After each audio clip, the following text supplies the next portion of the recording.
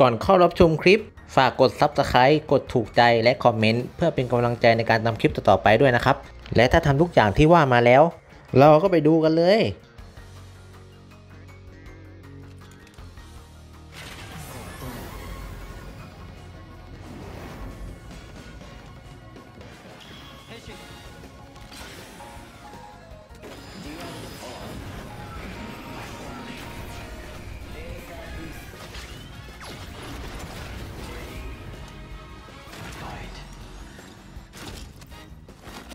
วัสดีครับ อยู่กับผมบอสจากช่องบอสคุง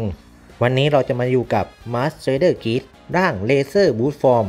ต้องบอกก่อนนะครับว่าร่างนี้ผมเคยทำคลิปไปแล้วครั้งหนึ่ง แต่ว่าครั้งนี้ผมจะมาทำใหม่เพื่อให้เนื้อหามันถูกต้องและดีมากกว่าเดิม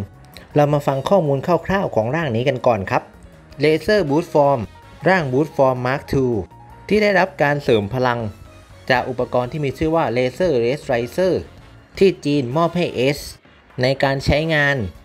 จะติดตั้งที่ด้านขวาของ d a y s i d e Diver แล้วทำการแปลงร่าง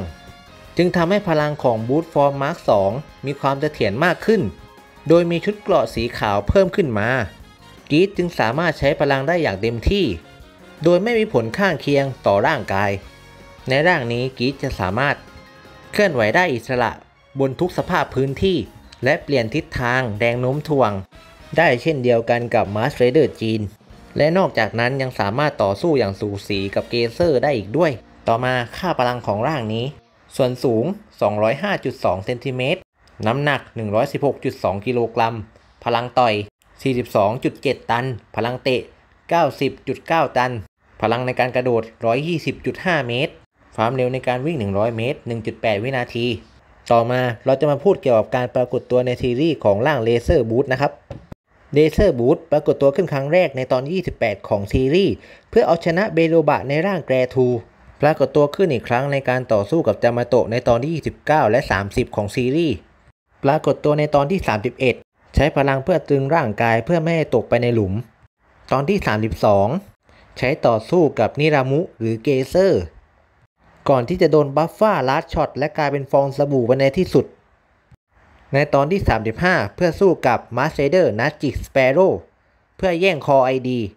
ตอนที่ 36 ใช้ต่อสู้ร่วมกับมาสเ r เดอร์บัฟฟ้าหรือมิจินากะ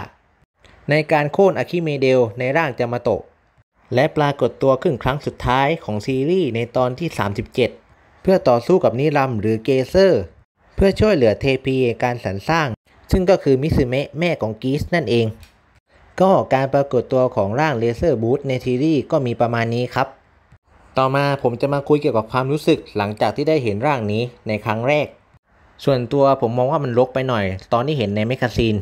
แต่พอมาเห็นในซีรีส์เห็นการต่อสู้เห็นฉากแอคชั่นผมบอกได้เลยคำเดียวว่าชอบร่างนี้มาก แต่ก็น่าเสียดายหลังจากที่เอซได้ร่างกีสไนน์มา ร่างนี้ก็ไม่โผล่ให้เราเห็นอีกเลย ก็สำหรับคลิปนี้ก็มีประมาณนี้ครับ ถ้ามีข้อมูลส่วนไหนผิดพลาดหรือผมพูดผิด ก็ขออภัยมาณที่นี้ด้วยนะครับ และเหมือนเดิมครับ ฝากกด subscribe กดติดตาม กดหัวใจ เพื่อเป็นกำลังใจให้ผมบอสในการทำคลิปต่อๆไปด้วยนะครับ และต้องขอบคุณ ทุกการกดติดตามและการกดคอมเมนต์มันเป็นกำลังใจให้ผมอย่างมากจริงๆครับ ขอบคุณจริง ๆ ครับ แล้วไว้เจอกันใหม่คลิปหน้าบ๊ายบาย